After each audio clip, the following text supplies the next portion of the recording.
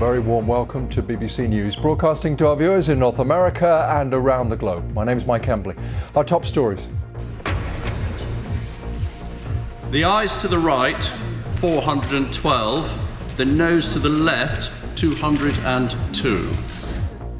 The British Parliament votes to request a delay on Brexit as a deadlock on the deal drags on.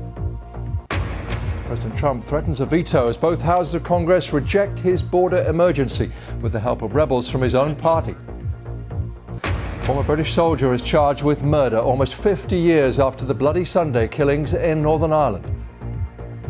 And a masterstroke by police. They used a fake painting to foil thieves in Italy.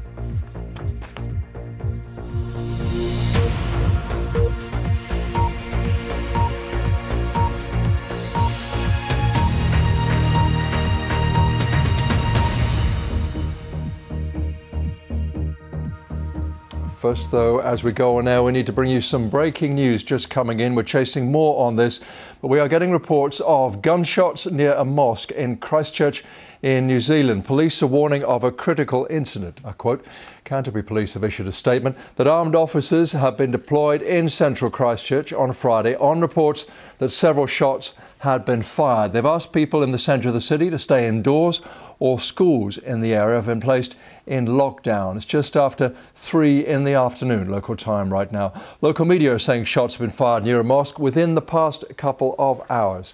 We will get more on that as soon as we can and bring it straight to you.